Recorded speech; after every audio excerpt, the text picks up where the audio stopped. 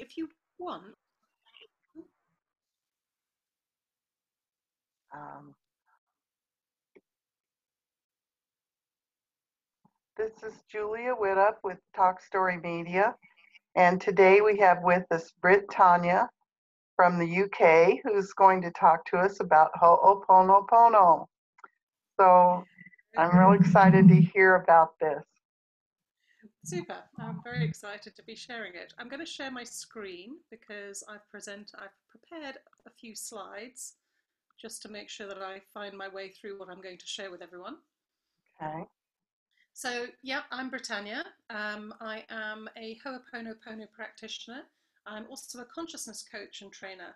And just a little bit of a back, background into who I am. I, I've always been really fascinated by energy. Um, and I think it goes right back to when I did A level chemistry. And I realized that all we are is energy. And mm. all that there is in this universe is energy and I've dabbled in Reiki. I've done a bit of body talk, access consciousness, um, and it's for me, it's really been about understanding how to get the most out of this experience, this human experience. Um, and I think when I was really young, I was really connected. I was quite religious, so I was really connected to the idea of God. And then that kind of shifted and changed, and I'm now much more spiritual than I am religious. But it's almost like I always knew there was more to this human experience mm-hmm. than just being, you know, the logical part of being human. So I think my whole life has been about exploring that and understanding it and and now helping other people to understand it and make the most of it. So I want to share um, my second slide, my third slide. So this slide is something that I've created. And I created it because I started writing a book and there was so much information and I wanted to put it in a format that it made sense. And since writing this book, I have now created this slide. And so I'm just going to very, very briefly touch on it because I don't really need to go, this talk isn't really about this, but Ho'oponopono is a part of it. So my understanding of how we are as humans is that most of us are driven by our subconscious.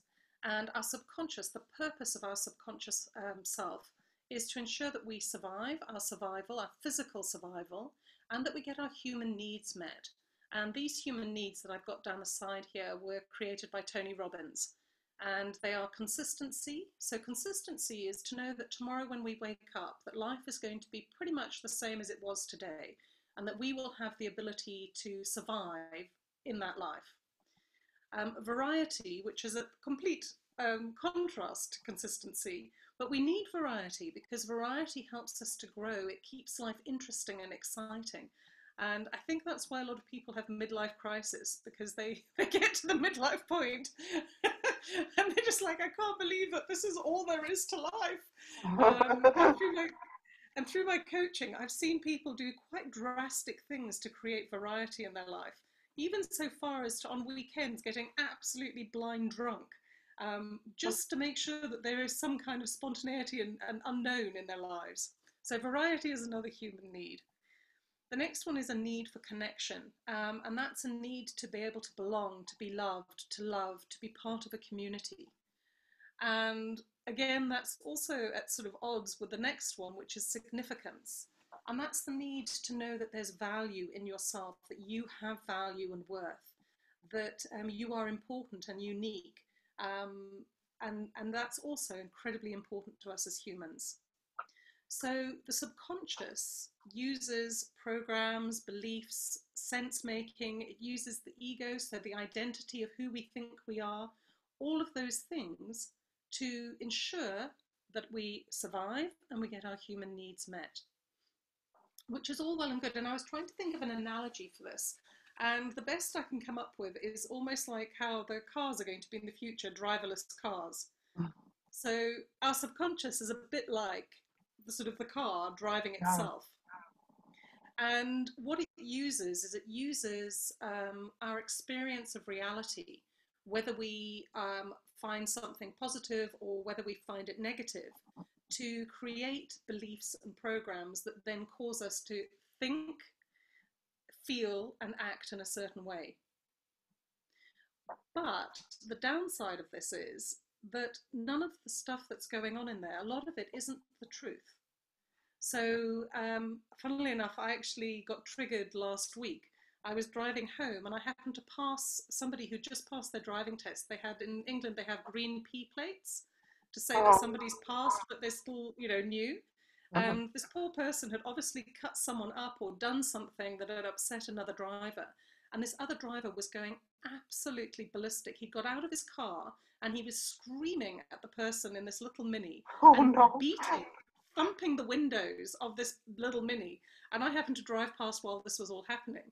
And um, I, I, got such an emotional trigger. I started feeling like short of breath. Um, I started feeling scared and anxious and and it wasn't even happening to me. It wasn't even you, yeah. I, was, I was being attacked, and that's that is purely the subconscious. And um, I sat with it because obviously I've got all the tools that I do in during this stuff. So I sat with it. I did Ho'oponopono, which I'll go into a little bit more detail. But um, what I realised from that was it it was it was the result of something that happened to me in my, my when I was a child. Um, I think I was grabbed roughly. I'd obviously done something to upset one of my parents. Um, and they grabbed me by the wrist and had dragged me and obviously were shouting at me while this was all happening. And from that, my subconscious created a trigger so that if anyone got angry or upset, um, there was then a program that I would run. And that program, I know, I've known it my whole life. If I'm in a situation where people get really, really angry and upset, I flee. I just, I run. I try to get as far away from it as possible.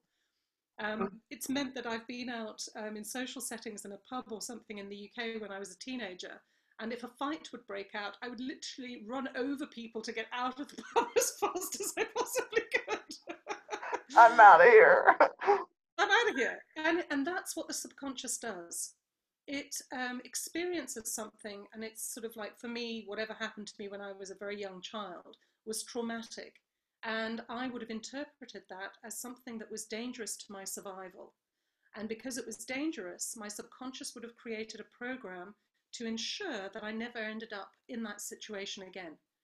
And the program it wrote for me was to run and get out of there as fast as possible. Mm-hmm.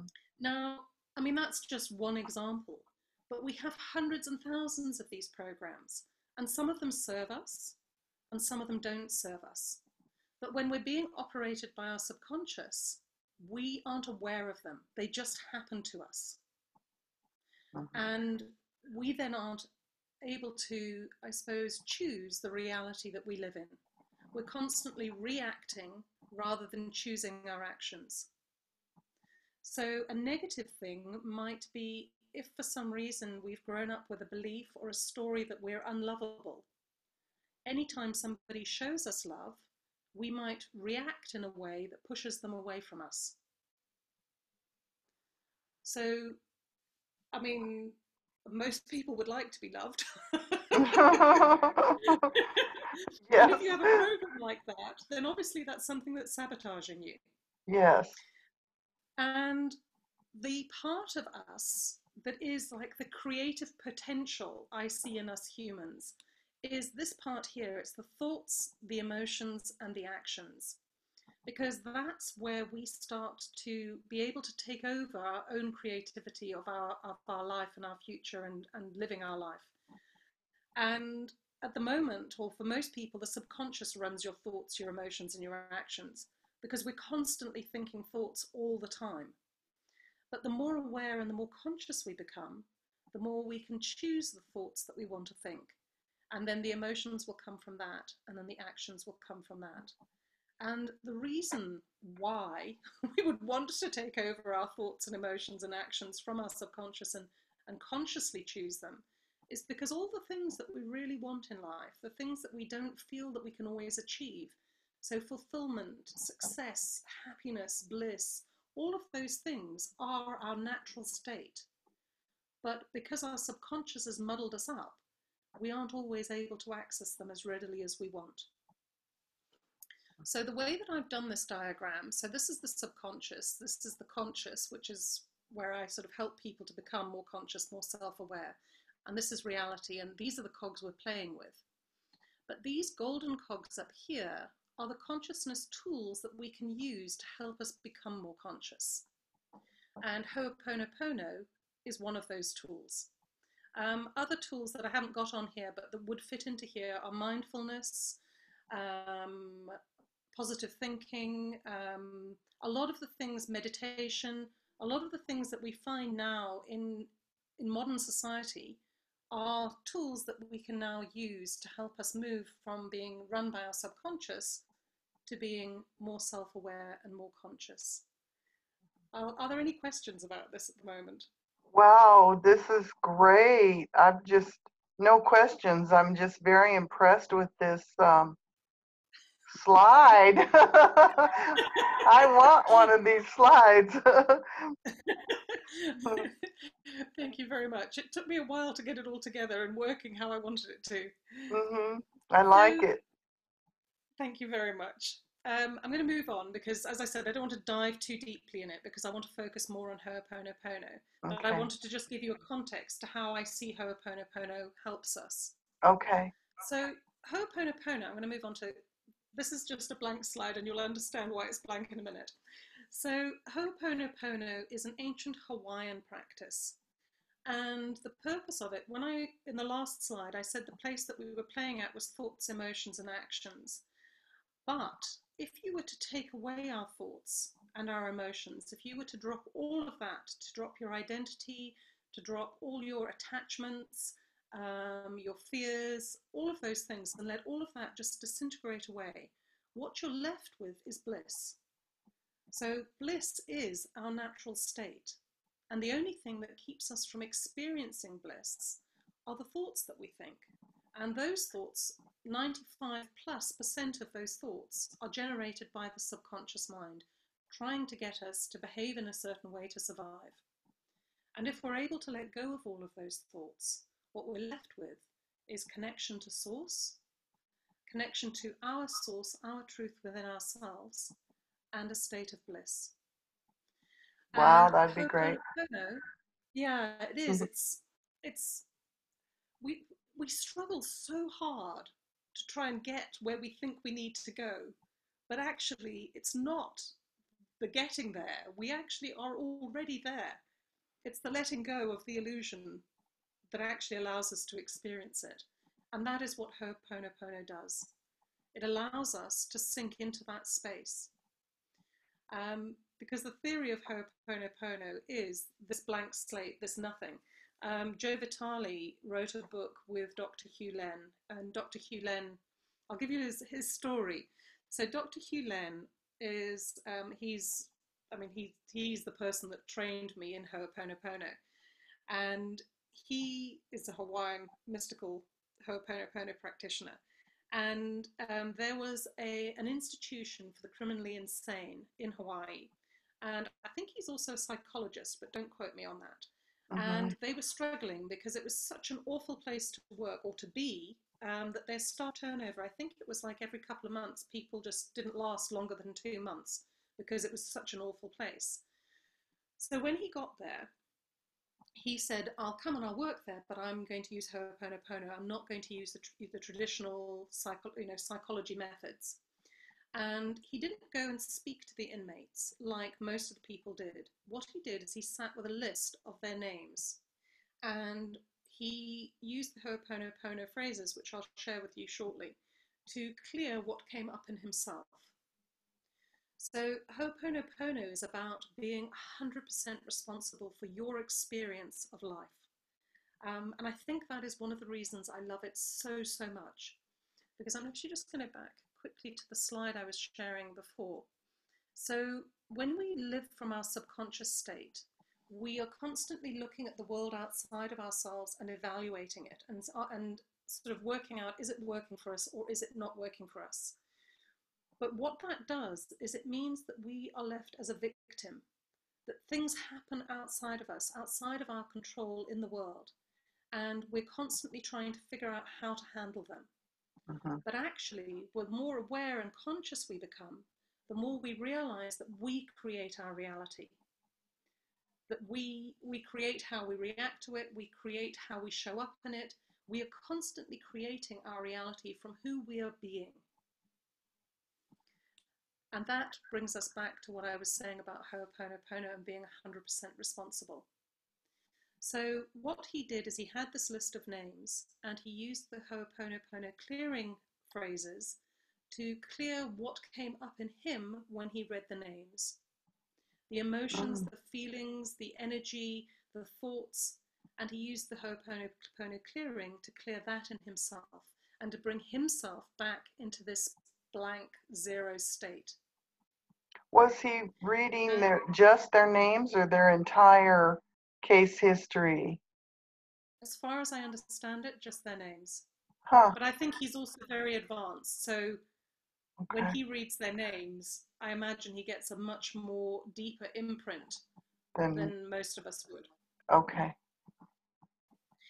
Um, and as the story goes, after two years, they closed this facility down. And the reason they closed it down was because in those two years that he worked there, um, the, the inmates either got better or they moved or whatever. There was nobody left. All the inmates had moved on by the time he'd finished his two years there.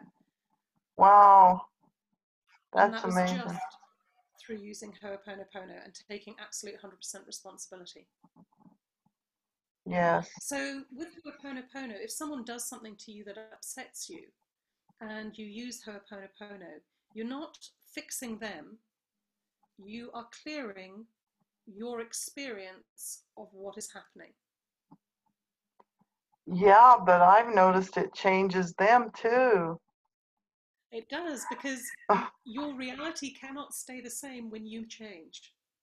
It just can't. Because when you let go of whatever's going on in you, then you won't see it out there in the world. It's immediately wow. gone. and it, it, it, I think the way that I can explain it as well is um, when you know the truth of who you are, when you when you experience source within you, really deeply, deeply experience it, only then can you see it in another person. And the same goes for, for negative things. So only when you um, experience, I'm trying to think, abuse, can you see it in another person. Um, I had lunch with a friend of mine recently, and funnily enough, we were talking about anger. she was explaining to me that um, her husband um, used to um, raises his voice with their children, um, and she finds it really, really upsetting. But he just thinks it's normal. Um, and it's got to do with the different backgrounds. He might have grown up in a really loud, um, vocal family where they, you know, expressed themselves loudly to each other, mm-hmm. but it wasn't ever threatening. It was a safe space. But to her, when somebody raised their voice, it really triggered deep traumatic experiences for her. So it wasn't that he was right and she was wrong, or she was right and he was wrong. It was simply that they were coming at it from different experiences. So when he raised his voice, she saw somebody who was threatening and angry and hostile, whereas he just was some, saw himself as somebody who was expressing himself. Yes. And that's wow. where Ho'oponopono helps, because when you clear what's going on inside of you, it's no longer there, so you don't experience it the same way.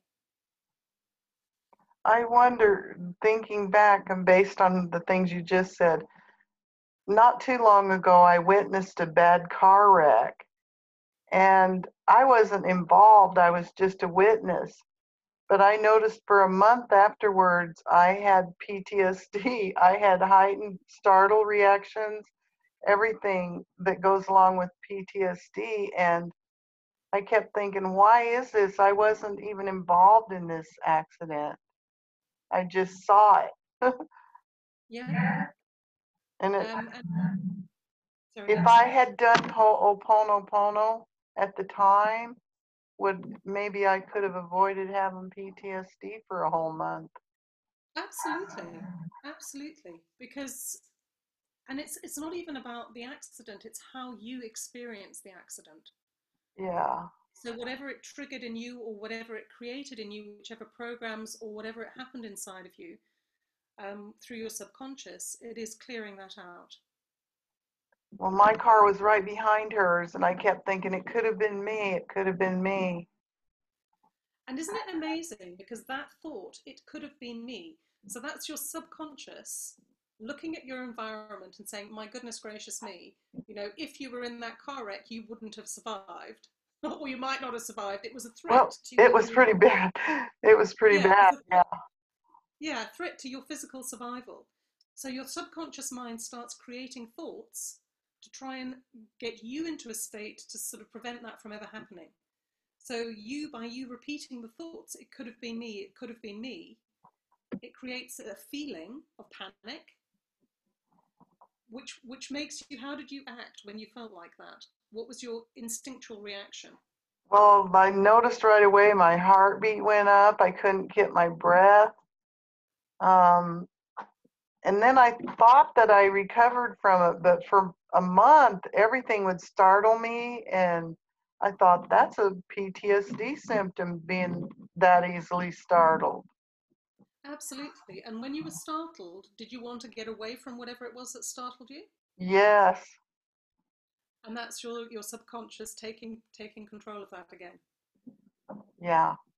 trying to get you out of the situation that it perceives that is threatening to you even though it didn't happen to you Yeah. That's why I always thought people had got PTSD from things that happened to them. and then here I was. yeah it's, it's not necessarily true and Ho'oponopono does and the thing is you see when we connect to the source within us and truly deeply experience it we realize we are eternal beings And if we really truly knew ourselves as eternal beings, we'd know that nothing in this world will ever destroy us or damage us or make us less than we are. So, all of that fear is really there to help us have this human experience. okay. It's my, belief, Fun. it's my belief that we're here to experience ourselves as creative beings. Um, and we kind of need that contrast. We need to experience ourselves as finite to be able to experience that creation um, as fully as we can when we're human. Okay. But sometimes it gets in the way. And I think that's what, for me, about becoming more conscious and more self aware. It's about learning the tools and the things that can help me to let go of the this disturbance from the subconscious so I can live a much more fully present and happy life. Be here now. Exactly. Um, I just want to share the next slide, which is the phrases, if anyone hasn't done Ho'oponopono or doesn't understand it. So there's four phrases, and the first phrase is I love you. And when you say I love you, you're saying it to the source within you and to source without. And if whoever's listening to this believes in God or Gaia or whatever else, I use the word source, but I mean, it, that's just my use. Please just, you know, change it to whatever it is that you're comfortable with. Um, I'm not attached to my way being the only way. It's just my way. so the I love you is saying that to source to the to the source within yourself and and opening your heart and really being in that space of I love you. And then when you say I'm sorry, what you're saying I'm sorry for is I'm sorry for my wrong thinking. So we've spoken about the subconscious thinking and that sort of constant sort of programmed thinking that comes through and how sometimes it isn't even the truth. So for you, when you were in your near car accident, you weren't actually, your life was completely safe. But the thinking that came from that was that you were under threat, that your life was being threatened. So that is wrong thinking. You okay? Sorry. I don't know what. Um, it's all right. We have and, some big fires going on here, oh dear. and the smoke is so bad. Yeah, I can imagine. It must really stress your throat out. Sorry. And so the I'm sorry is about saying I'm sorry to the source within you, to yourself, and saying I'm sorry to source to God outside of you, which is all one really, but just for our human experience, I'm sort of separating the two.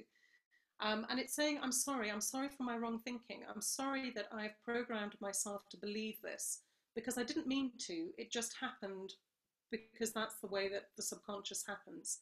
Um, and I'm sorry that this is what I have going on inside of myself.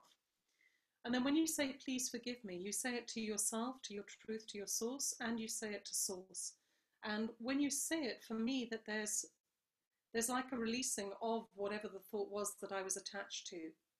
Um, and so you say, please forgive me. And then finally you say thank you. And that's thank you to yourself for forgiving yourself and for letting it go. And thank you to Source for forgiving you and letting it go. Um, and what I found with these four phrases is I sometimes say them one after the other. And other times I just sit with one phrase so sometimes, if I'm just feeling completely in awe of the space that I'm in, in a really beautiful space, I might just sit with I love you and just say I love you over and over again. Um, and if I'm really sort of struggling, because where I am now with Ho'oponopono is I can almost feel the separation between the thoughts and my truth. But sometimes, like for instance, when that guy got all um, road ragey and I got really seriously triggered, sometimes there, I, uh, you know, because the the experience of what's happening is so incredibly strong, I sometimes find it hard to separate myself, my truth from it, because it's so intense. And then I might sit with I'm sorry for quite a long time and just keep repeating I'm sorry until I can feel that sort of space between the thoughts that I'm having and the truth of who I am. And then I go on. Um, and those are the phrases, really. Um, I'm trying to think um, sometimes you might experience that you have a problem or a resistance to one of the phrases. I know when I started Ho'oponopono, um, I got really triggered by I'm sorry. and funnily enough, I can't even think why I was so triggered with it. I think it was um, feeling like I had to apologize for myself. Um, and I found that really quite, yeah, I was very triggered by it. So if you find you're resistant to one of the phrases, you can actually just do Ho'oponopono on the phrase until you find that it shifts and lifts. I think you're on mute, sorry. I can't hear you, Julia. I think you're on mute. I muted and took off my camera because of this cough from this yeah, fire. But I'm sorry. I used to have problems with that because I would use it when I'm in conflict with someone and I want to change that. and I'd think, why am I sorry? They're the ones that. exactly. So then um, I try to think of something I could be sorry for. And that made me look at the situation in a lot more depth. And I would usually find out, oh, yeah, I could be sorry I overreacted or you know absolutely and I, funny enough i've never looked at it like that but that's actually a really beautiful way to see it yeah so that's how i i was triggered by that every time too. Yeah um, and funnily enough now now i love it. Yeah i, I do really too. love it. I love saying i'm sorry. It's weird isn't it? Mm-hmm. Um so yeah so if you are triggered by any of the phrases then do Ho'oponopono on the phrase because there'll be something within you that's sticking on it. I may have to go ahead and uh, mute my video and my, well, I'm going to mute the camera too because you'll just see me hacking. okay, have a, have a good cough. okay. and I will ramble on about Ho'oponopono until you get yourself sorted. So Ho'oponopono for me has been it's been really transformational. Oh, and something that's just popped into my head that might be really interesting for you that I can share with you as well is that when I started Ho'oponopono, um, I did have one experience right in the beginning that was quite impressive. I was in a car park. Um, funnily enough, it's all to do with anger today. And there was two guys that, as I, I think I'd finished my shopping, I got in my car and I was getting ready to drive off. And these two guys in front of my car started fighting and arguing. Um, and as I've shared, I get triggered by anger. so I didn't like it, but I was I just read the book Zero Limits. And so I thought, oh, okay, let me try Ho'oponopono. So I did it, and I started just saying, I love you, I'm sorry, please forgive me, and thank you, on what I was experiencing in that moment. And out of nowhere, this third person came along and he put his hand on both of the two men that were fighting shoulders. I couldn't hear what he said, but he said something. Um, and then all of a sudden, it just completely went calm and peaceful and quiet. And the two guys stopped arguing and shouting and screaming at each other, and they just walked off. Um, and I can't promise that it was Ho'oponopono, but it certainly felt like it was at that time when I was using it. But other than that, I don't think I really had sort of like an amazing experience of it initially. But I found peace when I was using it. But now, the more I use it, I, I find my life is just completely transforming. Um, it is quite amazing. And so I see it a little bit like having a warehouse. Sorry, I'm coughing now. Full of stuff. So throughout life, we've collected thoughts and feelings and experiences, and we have like this massive, massive room full of stuff. And when you first start clearing out a room like that, you take a few pieces out, but it doesn't seem to really change the room. But if you keep taking stuff out and you keep using this phrase, before you know it, you suddenly look around and there's like the quarter of the room is empty and there's so much more space.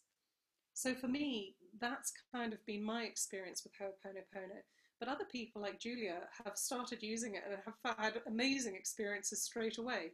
So don't let my experience sort of color your experience. But just in case you don't see a transformational change, you know, phenomenal change immediately, um, don't give up on it because my my experience was much more slow with it. But now I use it every single day. Every time I have something that comes up in my life that takes me off center, that takes me out of alignment, I use Ho'oponopono. But it's always focused on my experience of whatever it is that's going on in my life. Um, so yeah, that's kind of how it is.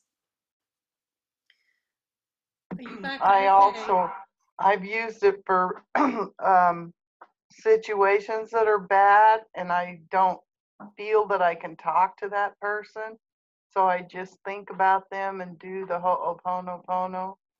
And many times they come to me and they come to me and want to make peace. So it's it does something to them. It must. Absolutely. It does because they are your experience of reality. And if you change what's inside of you, your reality has to change. Even though I'm not interacting with them, except Absolutely. on on that level. Even though you're focusing on yourself. Um, I'm trying to think. I had a client who um, didn't like crowds and lots of people. And um, and this isn't actually a Ho'oponopono thing, but just to share the whole, it, your experience starts within you. Um, so when he used to go to sort of like a party or something like that, I asked him what was his thought about the people that he was going to go and see there, and he said he thought that people were generally offish um, and not very friendly. So I said to him, okay, so who do you become when you believe that? And he kind of sat there and he went, oh, um, I suppose I become offish and not very friendly. and I said to him, so if you imagine an offish and not very friendly person walking into a group of people, how would those people respond to you? And he said, I suppose not very friendly and kind of offish. so as soon as you change that inside of yourself, as soon as you change that, then your experience of the outside world changes immediately. It has to. It just has to. It you does. Don't have it inside you, then the outside world isn't isn't reacting to that. Right. They they change that I use I mostly use it that way now. If I know someone's having trouble, I just think about them and do the clearing phrases over and over. Absolutely and it's clearing your experience of it. So you're not trying to fix them or trying to fix somebody else or make them better or heal them or whatever. You're healing your experience of whatever they're going through in yourself, how you are experiencing it. And then the external thing has to change. Because we're all energy. It's so amazing. It's so it simple. Is. It is. Um, and then finally, I mean, do you have any other questions? Um, uh, I just wonder why those words, but that's okay. I think that those words, to me, it's about Well, the I love you is the connecting to all that is. For me, that's how I experience it. When I say I love you, just even reading it now, my heart expands and opens. Mm. When we are in resistance to what is in life, when we're in fear or anger or hurt or pain or whatever else, we close off and we pull our energy in. And I actually do um, an experiment with people with dowsing rods where you hold them and you think of something really amazing and beautiful, and the dowsing rods open up. And when you think Oh, of something really scary or frightening or upsetting, they come in. Um, and it actually shows you how much your energy field expands or contracts depending on the thoughts and what you that you think and the emotions that you experience. Um, and the I love you to me is that opening. Um, when you really, really think I love you to source to yourself, your heart opens, your energy expands. Um, and then the I'm sorry, it's very much about owning that you have inadvertently created wrong thinking. Um, Oh, and it's and it's when you when you feel that sort of acknowledgement of you didn't do it on purpose, but you have got wrong thinking that's going on inside of you. There's um, I don't know. There's a change. There's a shift inside. I can kind of feel it, sort of deep here in my sort of um, in my solar plexus. Okay. Um, and it's a releasing of it, and that's the same with the please forgive me. It's a letting go of that that wrong thinking, and then to me, the the thank you is back to the open-hearted and back to the connecting to source. And on that one, I use the Hawaiian word mahalo. Oh, how beautiful! Yeah, that makes a lot of sense. I think I'm going to give that a try myself. yeah, I love it. I don't know a lot about it, or I am not qualified to be a practitioner, but it's a powerful tool. It's an incredibly powerful tool. Um, and, and just using it and playing with it and trying it out, the more you use it, the more you experience it. It, it really is quite amazing. Um, are there any other questions? Um, no, I'm. What more do you learn to become a practitioner? It's more about experiencing it and truly knowing it. You know, being a practitioner is almost being it. Okay. So that's kind of because the concept I've kind of shared with you, but with who we are as humans, there's normally quite a lot of resistance to aspects of what I'm sharing. well, so and I think there's a lot of resistance to something that simple being powerful. exactly, exactly. It's like, well, it has to be more complicated than that. But no, it doesn't. It doesn't. No, it doesn't. Um, and really, the last thing I think I was going to share with you is that um, if people want to, I run a free Ho'oponopono meditation on Tuesdays. Oh, Um, good. and they can either find my social media details on my website, which I've got there, or on that particular that Facebook group, which is rather long and complicated. Might be easier to go through my social media on my website. Yes, I suspect it will. And you're, could you put that up on the chat though? Yeah, I can. I can copy it and put it in the chat. Um, but that, yeah, I, as I said, it's a free. Hang on a second. Oh, I guess you have to quit sharing first to do the chat, maybe. No, I don't. I don't think so. Oh, okay. Um, just a moment. Here we go. Um, here we go. So that's that's the Facebook group, and then let's see. Hang a second. Shift you that way. And this is my website. And it's it's just it's a half an hour's meditation that I do on a Tuesday. Okay. Um, and what I do is um, I choose words that I think might trigger people. So, but they're quite general words like pain or anger or abuse or hurt. Um, and if people are part of the group, they're very welcome to send through any challenges that they're working on that they specifically want us to focus on in meditation. Okay. Um, and then I'm happy to help clear on those as well. So I normally share five words at a time, and people read through them and they pick out the ones that trigger them the most, and then we clear on them. Um, and I've also got some of Joe Vitale's music, which he um, created specifically to align with the Ho'oponopono clearing. Um, and we use that. And it's, yeah, I do it every Tuesday. At, it's six o'clock UK time, which would be, I'm trying to think, what time is it where you are now? Well, um, I don't know. I'm on, I'm in the mountains, Mountain Standard Time. Um, what time did we start our call today? 10:30 my time. Which was 5.30 my time. Okay. So at 11 o'clock Mountain Standard Time would be 6 o'clock my time, PM. So it would Yeah. be 11 o'clock your time every Tuesday that I do it. Okay, 11 p.m. No, AM. a.m. Oh, okay, that works. well, I used to interact with a lot of people from India, and it was the middle of the night when it was day for me. Actually, some of the people that join me on the call are from India, and I have people from China as well. It's wonderful. It's a, I, I think that's the thing I love about it as well. It's totally global. Um, and I started it, this particular free meditation, at the start of coronavirus. Uh-huh. Um, and the reason was because I felt this whole coronavirus has been, it's been like a, a whole global clearing. Yes. It's, it's like we're all going through stuff together, and, I've, at times I can almost feel the fear in the air from people. Um, and for me, doing this every Tuesday was my way of contributing to to that global clearing to help clear and shift our sort of consciousness on this planet.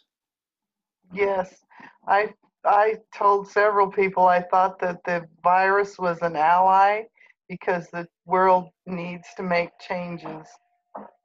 Absolutely, and isn't it amazing how? Um, I mean, I haven't seen so many now. I mean, in the UK, we're kind of back to life as normal. Well, not really, but sort of. But isn't it amazing how just a few weeks of complete shutdown and and the nature, you know, animals started coming out. No. I mean, isn't that just so brilliant? The water in Venice cleared. No. They could see the fish down in the water, and that water's been stirred up forever. Exactly. Wasn't there dolphins or whales or something swimming in there as well? Yes, I was amazed. I thought, oh, see, the world would, it was kind of a sobering thought. The world would be fine without us. Absolutely. but I'm hoping that we can evolve enough to realize that that this experience will cause everybody to open up to trying to make the earth better place for Um, everybody. and I think this Ho'oponopono is part of that. To me, the more conscious, the more aware we are as humans, the more connected we are to source, both you know within ourselves and outside of that.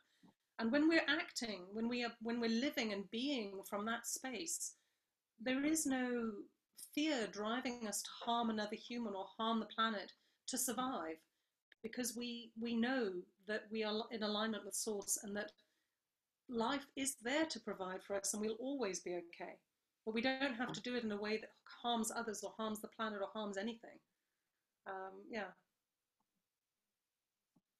Yeah, I think it will. I think that that this is the turning point for us. We're turning towards the light.